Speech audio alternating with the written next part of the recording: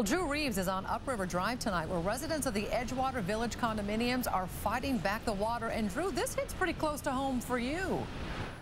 Yeah, Nadine, that's right. I actually live in these condominiums, and on a personal level, I just have to say thank you to everybody else who was out here helping today. It just really means a lot coming from me. And it wasn't just people who live here who were out helping today. Volunteers actually showed up to get these sandbags ready.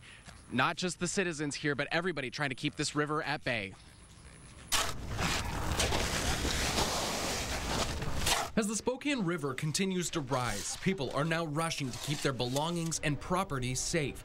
The river just feet away from condominiums at Edgewater Village. It's right out my front door, but it hasn't come up over the berm yet, so hopefully we'll be okay. Neighbors hurriedly filled bags with sand today to build a protective barrier, the water already covering a first layer of sandbags laid down this weekend. It's just precaution.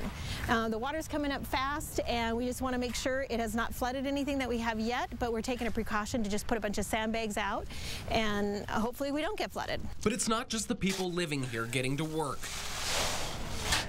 David Howerton says his dad lives near the condo complex, and when he came upon a road stop, he realized the road was flooded and wanted to do his part to help. We heard on the news that we were, that they needed volunteers, so we uh, came out and decided, hey, we'll volunteer our time. We appreciate everybody that's just stepped up and helped us and made this happen this morning. So it's when the community comes together, together the best. Howerton says he's just happy to get out and help his neighbors when they're in need.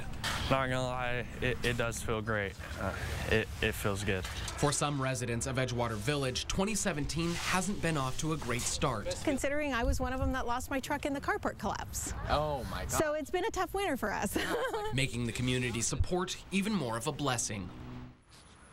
And people who live here hope this will be the last time they have to put sandbags out. But if it's not, they're confident the community will step up to help them again. They say they haven't seen flooding even close to this since the winter of 2008. Reporting on Upriver Drive, Drew Reeves, KXLY 4 News. Wow, neighbors helping neighbors. Thanks so much, Drew.